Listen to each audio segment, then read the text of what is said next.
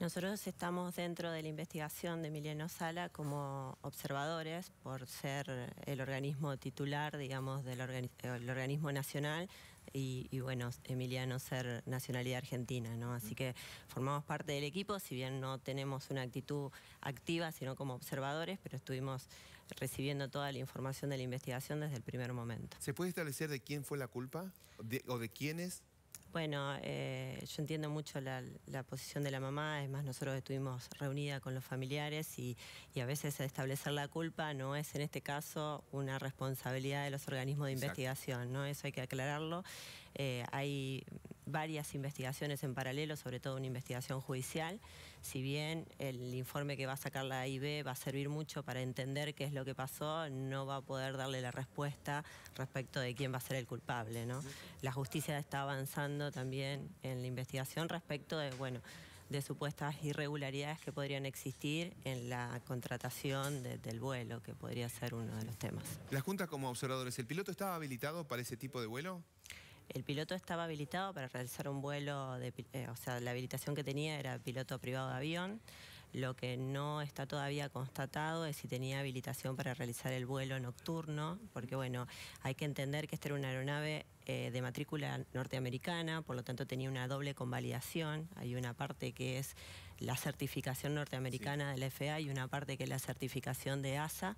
Y en este caso el piloto tenía una convalidación de matrícula y no está todavía verificado si tenía la habilitación para el vuelo nocturno. Vemos que tiene ahí muchas hojas, muchos documentos. ¿Qué es eso, Pamela? Bueno, en realidad eh, hace, salió un preliminar que bueno, todos conocen. Nosotros tuvimos ese preliminar previo. Sí.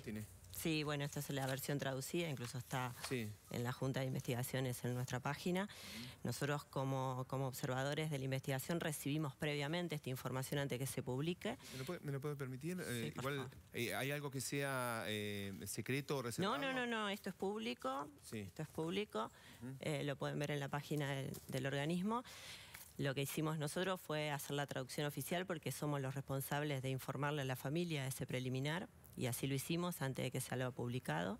Y después en función de ese preliminar y toda la información que teníamos, llevamos una batería de preguntas a esta reunión que tuvimos en Inglaterra. ¿no?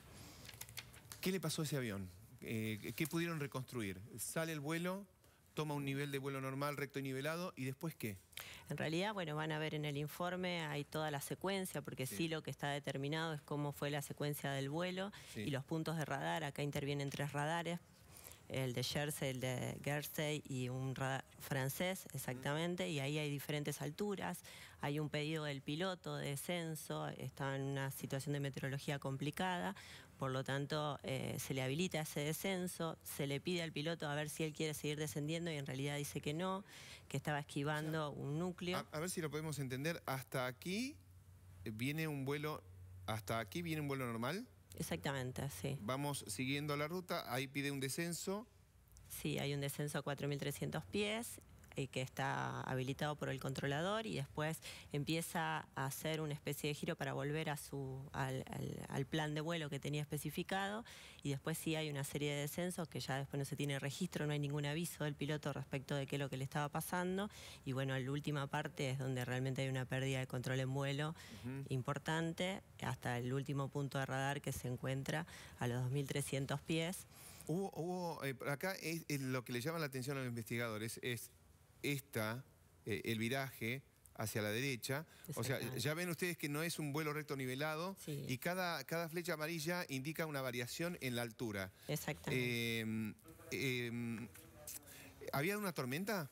Sí, había, había tormenta, llovizna, si bien cuando él sale del aeropuerto eh, tenía una visibilidad de más de 10 kilómetros, y, pero estaba previsto lloviznas, la aeronave estaba preparada para hacer ese vuelo. Claro.